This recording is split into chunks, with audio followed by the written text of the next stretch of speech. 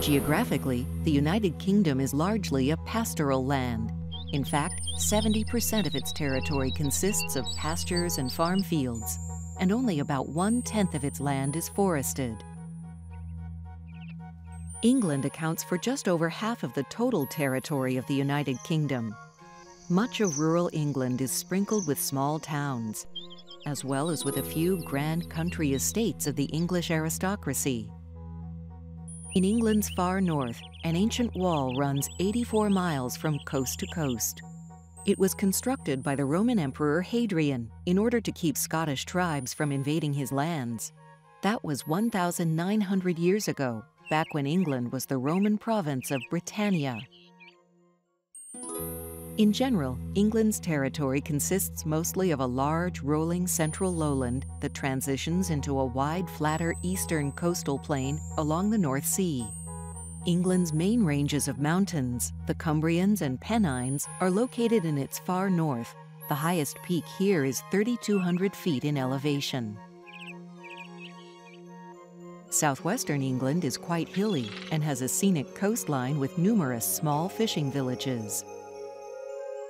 Scotland makes up just under a third of the total area of the United Kingdom.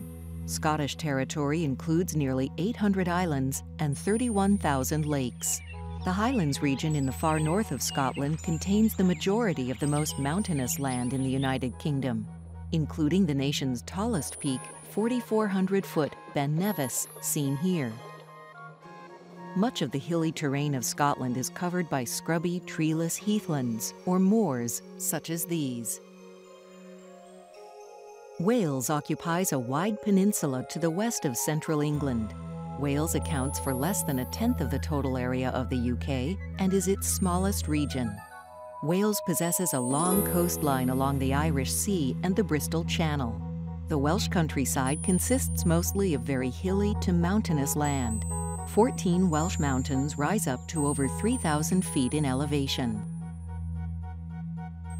Northern Ireland, the UK's second smallest region, is separated from Great Britain by a narrow channel that flows into the Irish Sea.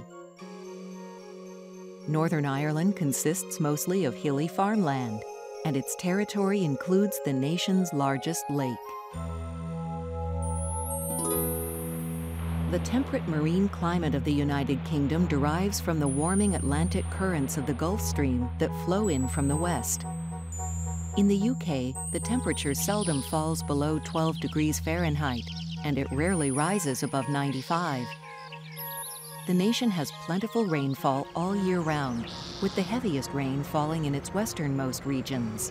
Snow falls only occasionally in the southern parts of the UK, whereas chilly Scotland can have two to three weeks of snowy weather a year.